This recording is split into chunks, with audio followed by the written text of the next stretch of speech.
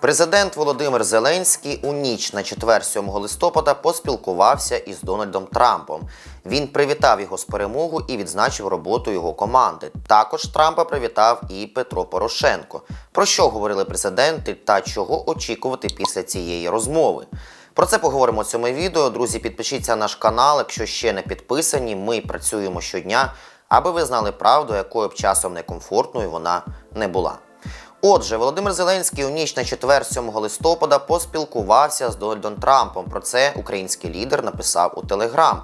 Провів чудову телефонну розмову з президентом Трампом і привітав його з історичною та переконливою перемогою. Цей результат став можливим завдяки його вражаючій виборчій кампанії.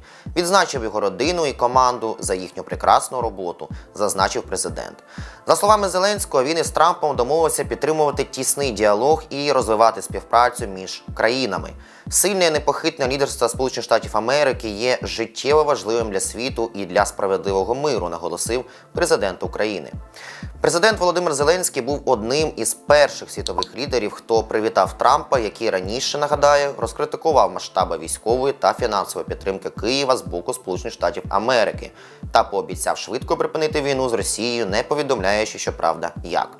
У зверненні оприлюдному незабаром після того, як Трамп заявив про перемогу, Зеленський сказав, що з нетерпінням чекає ери сильних Сполучених Штатів Америки під рішучим керівництвом президента Трампа.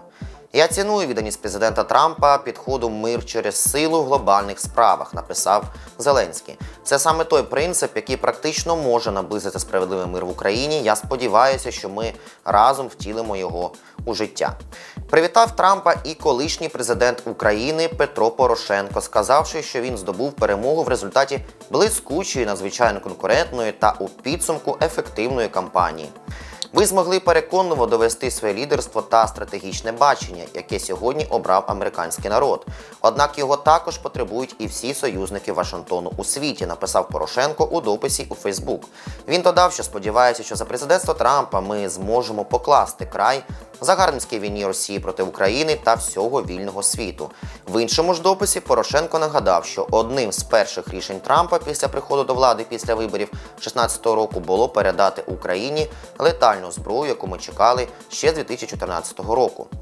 Джавеліни стали символом цієї підтримки, але це були також контрбатарейні радари, системи РЕП, військово-морські кораблі Айлендер, додає Порошенко.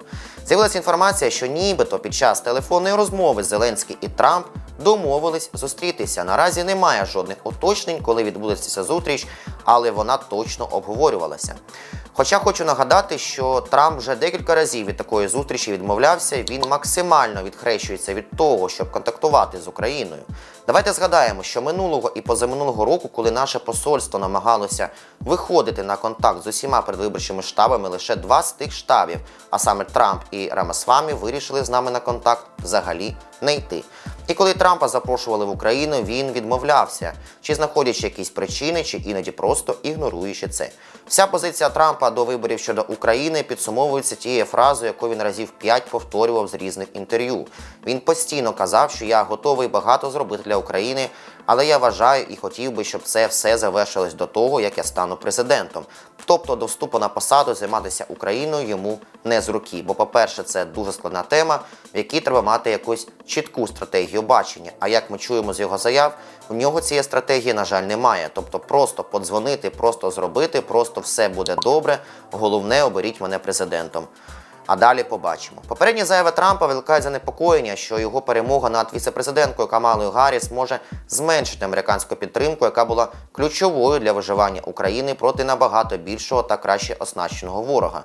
Тобто в Україні побоюються, що Трамп наполягатиме на поступках Росії, але вірять, що він не схилятиме українців до капітуляції. У Європі, до речі, вже готуються до можливості, що Вашингтон скоротить підтримку України. На другий день після виборів у Сполучених Штатів Америки, тобто сьогодні, Франція та Німеччина організували в Парижі оборонну зустріч на найвищому рівні для обговорення результатів виборів. Дві провідні держави в Європейському Союзі надають значну підтримку України, щоб захистити її від війни Росії. Але навіть у сумі європейські внески не можуть зрівнятися з допомогою Сполучених Штатів Америки. Ось така інформація, друзі. Напишіть в коментарях, що думаєте з цього приводу.